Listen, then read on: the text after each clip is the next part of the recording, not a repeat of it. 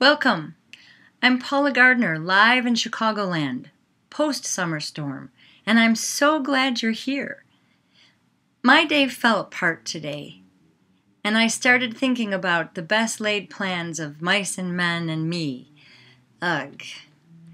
So, my question is do you have plans? Do you have your day scheduled out just so? Does everything have a place and is everything in its place? Well, I'm not that organized, but I do plan. And it seems that my plans, especially today, get sidelined, side, sidetracked, disrupted, ignored by life. What's that saying by John Lennon or one of his song lyrics? Life is what happens when you're busy making plans. Bingo!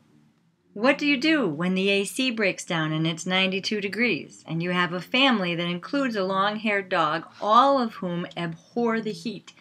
And you had planned to spend the day writing and creating content, you take care of the AC. Done.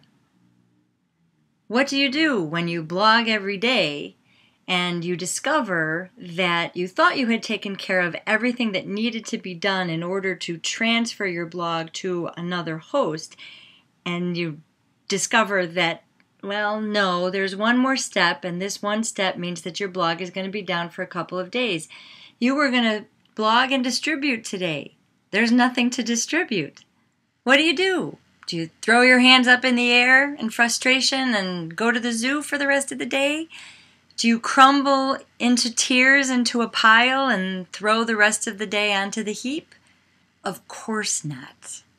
Well, Maybe you throw up your hands in frustration, and maybe you do crumble in a heap for a moment, but then you take action. You think outside the box. You put your creative thinking cap on. You roll with the punches.